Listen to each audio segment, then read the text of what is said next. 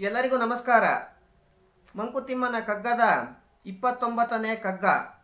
ಎರಡು ಮಿರಬಹುದು ದಿಟ ಶಿವರುದ್ರ ನಲೆ ಬೊಮ್ಮ. ಕರವೊಂದರಲಿ ವೇಣು ಶಂಕ ಒಂದರಲಿ. ಬೆರಳ್ಗಳೆರಡಾನು ಮಿರೆ ಕೈ ಚಿಟಿಕೆಯಾಡುವುದು. ಒರುವ ನಾಡುವುದೆಂತು ಮಂಕುತಿಮ್ಮ? ಇಲ್ಲಿ ಆ ಪರಮಾತ್ಮನ ರೂಪಗಳನ್ನು ಡಿ ವಿ ಗುಂಡಪ್ಪನವರು ಇಲ್ಲಿ ಅರ್ಥೈಸಿದ್ದಾರೆ. ಆ ಭಗವಂತನಿಗೆ ಎರಡು ರೂಪಗಳಿವೆ. ಅಂದರೆ ಅವನು ಜನಗಳನ್ನು ಆಕರ್ಷಿಸುವುದು ಗೊತ್ತು. ಕರವೊಂದರಲ್ಲಿ ವೇಣು. ವೇಣು ಅಂತಂದರೆ ಕೊಳಲು ಅಂತ. ಕೊಳಲನ್ನು ಹಿಡಿದು ಜನಗಳನ್ನು ಪ್ರೀತಿಯಿಂದ ಅವನಿಗೆ ಆಕರ್ಷಿಸುವುದು ಗೊತ್ತು. ಶಂಖ ಇನ್ನೊಂದರಲ್ಲಿ.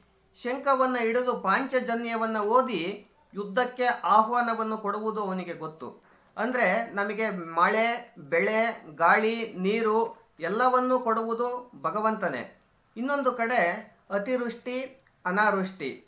ಈ ಸುನಾಮಿ, ಪ್ರವಾಹ, ಮೊನ್ನೆ ಆಯ್ತಲ್ಲ, ಉತ್ತರ ಕರ್ನಾಟಕದಲ್ಲೆಲ್ಲ ಪ್ರವಾಹ ಬಂತಲ್ಲ. ಹಾಗೆ ಪ್ರಕೃತಿ ಕ್ರೂರತೆಯಿಂದ ಮೆರೆಯುವುದು ಅದಕ್ಕೆ ಗೊತ್ತು, ಭಗವಂತನಿಗೆ ಗೊತ್ತು.